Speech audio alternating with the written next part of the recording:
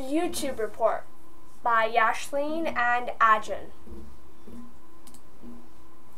Introduction.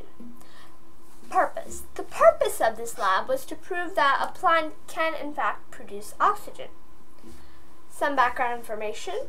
A plant needs oxygen to burn, so if you put a candle in a closed jar, it would burn out eventually.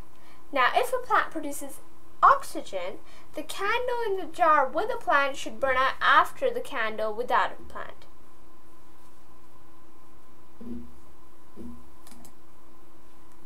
Hypothesis. What I think will happen is that the jar with the plant inside will last longer because they can work together.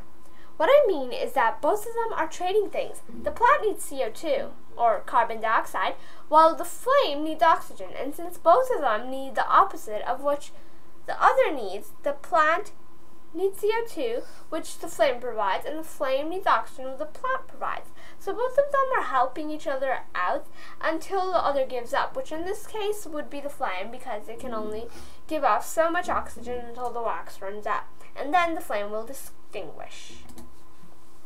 Materials.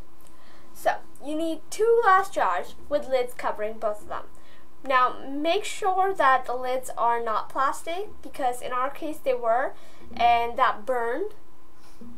So, and we had to use tinfoil afterwards. So that's why the two sheets of tinfoil is also optional.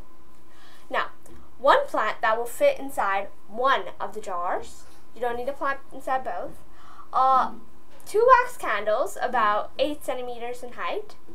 A lighter or a match and also, if uh, in, for the fire, you could get help from an adult or a parent or anyone if you need it. Now, procedure. So, here it is. First, you have to take two jars and place them side by side. Secondly, you place the plant in one of the jars and you place a candle in both of them and make sure the plant doesn't touch the flame, okay? Then you light both of the candles with a match or you could use another candle or a lighter. Basically, the point is you have to light them and try to make them at the same time as possible. Then you cover the top of the jars with uh, their lids. And in this case, we also have tin foil as, as I said, the lids burned. Finally, you have to just watch until one of the flames distinguish. That's it.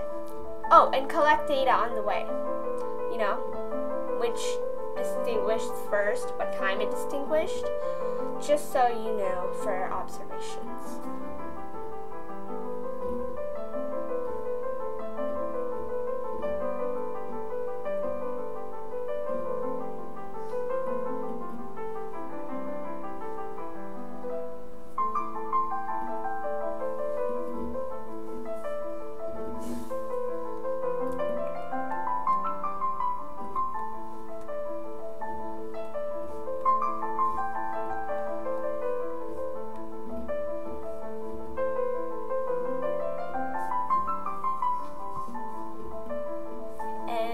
Jar 2 is gone.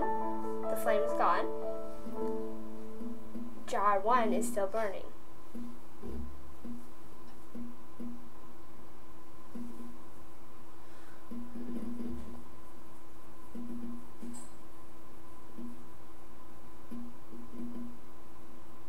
And jar 1 has officially burnt out.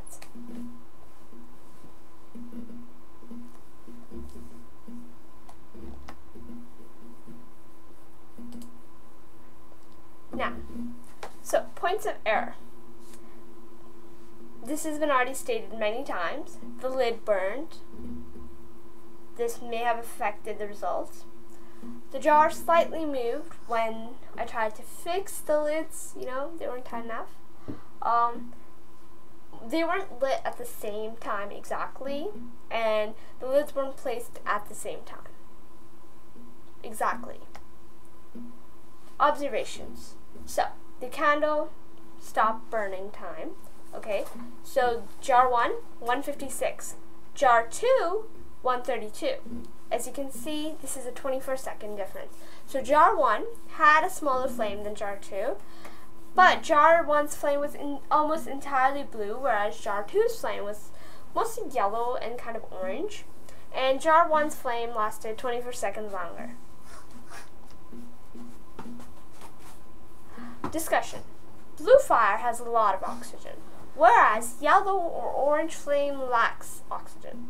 So even though jar 1 had a small flame, it had more oxygen than jar 2 as its flame was blue and the jar 2 flame was orangish yellow.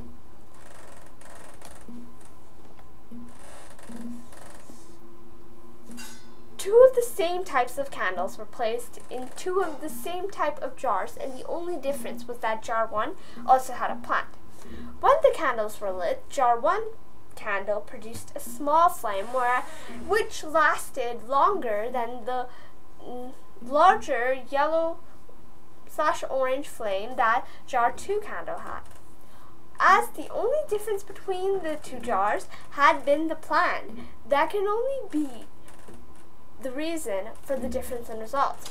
So, the plant produced oxygen which allowed jar 1 candle to have a longer lasting and stronger flame. The end.